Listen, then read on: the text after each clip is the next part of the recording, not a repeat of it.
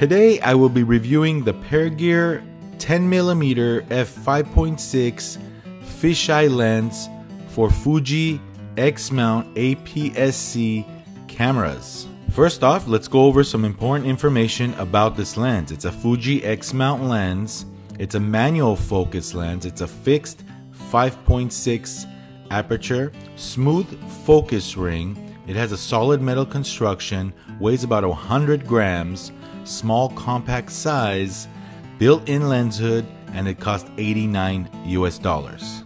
Comes with a metal front cap and a plastic rear cap. For this review, I will be doing some sample images and some video clips and using my Fujifilm X-H1 camera. As you can see, I'm mounting it onto the camera right here. So what do you say we get started? Let's have some fun, rock and roll. Alright guys, well, mounted the Pergear lens to the Fuji X-H1 and today I'm gonna go around town and take some stills and some video with it so you guys see what this uh, fisheye pancake lens can do. 10 millimeter on APS-C lens is equivalent to about a 16 millimeter focal length. So 5.6, you cannot change the aperture. It's a fi fixed 5.6 aperture lens. So we started the day, had some lunch, took a shot right here. You can get really creative with this lens. The focus is smooth and it's not hard to acquire focus if you're using peaking on your camera. When you're doing shots like this, all I did was set it to infinity and you're pretty much in focus. The whole scene is in focus. Doing some video clips. I took a few stills here on these next images with the flag, the sun behind the flag. Let's zoom in here and see the detail of this still image. If you're doing video clips and you're doing walkthrough videos like we see on YouTube, you probably wouldn't use a lens like this one. This lens is for specialty wide angle shots with an effect. As you can see the fisheye effect in the corners. I tried doing some walkthrough videos like you see here, but it's really hard without stabilization if you have a gimbal or a Steadicam, this would be a really nice wide angle footage to use. Static shots and semi-pan footage like this one, it's fine. It does a really good job. It adds a really nice effect. Here's some still images. Here's the brand new Apple iPhone 13 Pro Max that just came out. I'm capturing this image maybe a half inch away from the lens element, very close distance. Now, I was at the Apple store and I was very curious to see what the new iPhone 13 footage looks like. So I shot some clips and I transferred it via airdrop. While I was transferring the footage, notice how many iPhones it picked up. I'm at an Apple store after all, right? So here we go, guys. iPhone 13 Pro Max 4K 30 footage.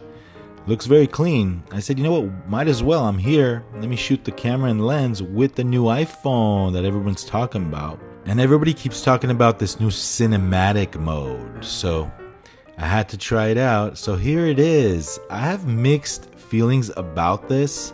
Here's cinematic mode. It does a good job panning on top, but then when it comes down to the camera, it has some trouble uh, doing a smooth focus pull. This is not an iPhone 13 review. I just happened to be here and I said, why not? Just in case you're in the market for one, here it is, cinematic footage. Not too thrilled about it. However, this is a phone, this is a iPhone, so you can't ask for much, I guess. Well, let me rephrase that for a second. We can't ask for a lot because we're paying a lot of money for these iPhones. Anyway, back to the 10mm review. I was checking out the new iMacs and the computers.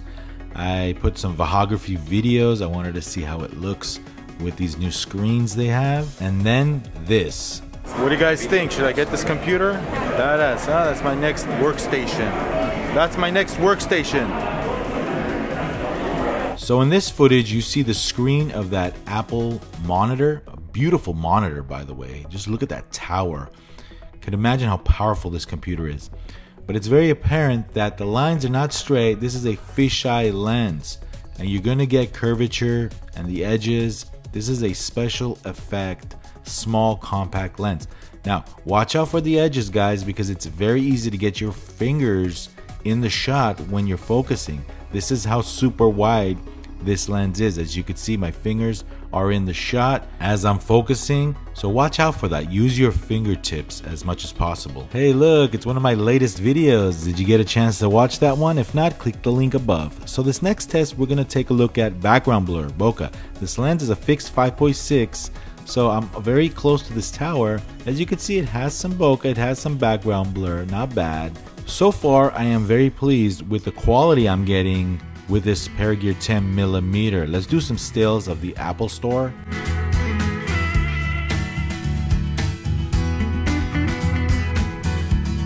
So with the correct stabilized gear, you can capture pretty nice results with this lens camera combo.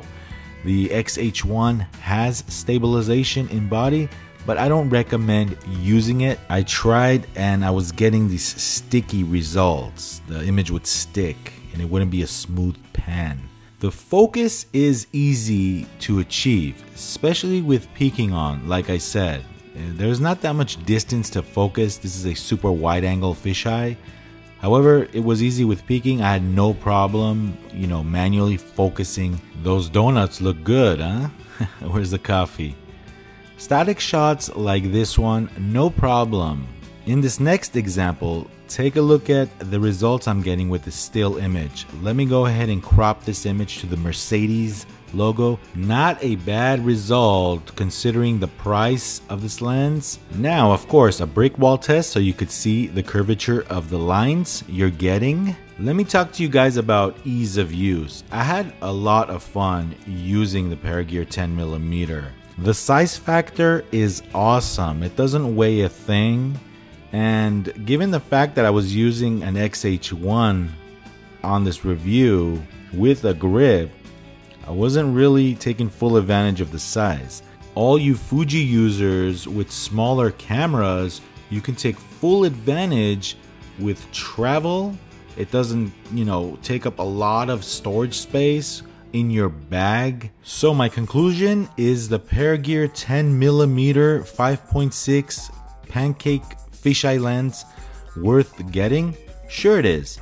89 US dollars for a small compact light Fuji mount lens, fisheye effect lens. Why not? I mean, look at the results. This is a $90 lens. Sure, it's manual focus. So what? And you may be thinking it's only a 5.6 lens, Vahagan. Well, that's all you need. I don't think you need a 2.8 for a fisheye. Now take a look at this clip. I'm using Ken Burns effect. I'm going closer in to this boat. Now, as the boat gets closer to the edge, I want you to look at the quality at the edges.